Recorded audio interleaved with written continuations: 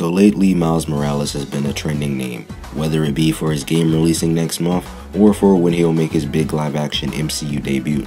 So recently, I believe on Sunday, well, last Sunday, so a week ago, an audition tape supposedly for Miles Morales got leaked online. Now, I didn't see it, but I got a little breakdown from other channels. I'll put it in the description so you can check it out.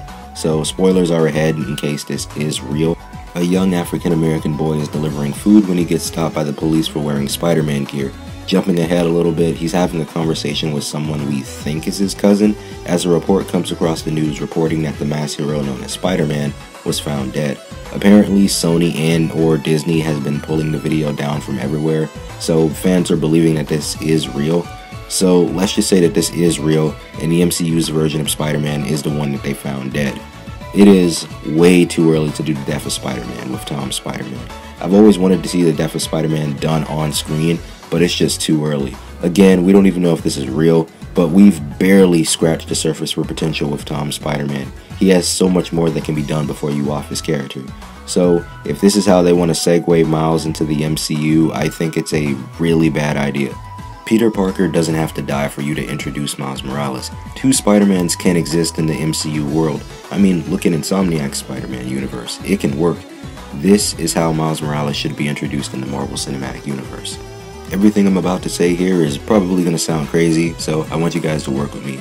So let's say at the end of Spider-Man 3, Peter Parker loses someone close to him. Let's say Aunt May.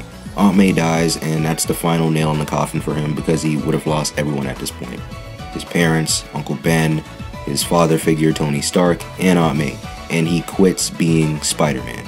Just like how Cap did at the end of his trilogy, giving up the mantle, disappearing from the MCU, Spider-Man could do that, disappearing from the MCU until Avengers 5. So what should happen in between that gap? This is where Miles Morales comes into the picture.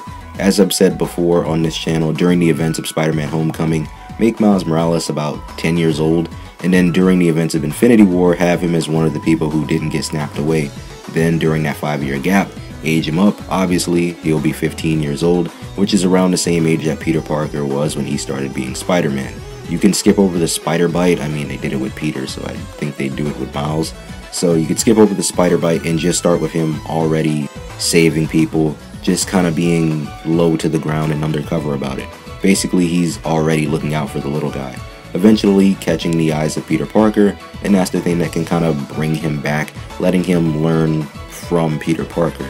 Then, in a big Avengers Endgame level film, possibly Secret Wars or whatever is planned next, Peter Parker's Spider Man can die, giving up the mantle to Miles Morales fully. And the last part of this crazy idea what if they make a entire new Spider Man trilogy for the MCU, but it's just for Miles Morales? I think that would be cool, but it probably has some consequences. I don't know, like Sony and Disney trying to tie things together, figuring out where the movie should be placed. I don't know, I'm just rambling. I know everything I said probably sounds stupid, dumb, and silly, but I think it would be cool. If Miles just appears in the movies or has his own set of movies, I can't wait to see him in the MCU or under Sony's hands, whatever happens. I can't wait to see him in live action. So let me know what you think about my idea down in the comments below. I'd love to hear your thoughts. Also, how do you want Miles Morales to be introduced into the MCU? Again, I'd love to hear your thoughts. So, I'm going to leave that there. As always, I appreciate you guys for watching this video. If you enjoyed this video and you want to see more videos like this one, be sure to leave a like and subscribe. Join the family, help the channel grow. Also, hit the bell icon and set the notifications to all so you never miss a video. Love you guys. Stay safe. Continue to spread nothing but peace, love, and positivity. And I will see you guys next time. This has been the Webbed Warrior, signing off.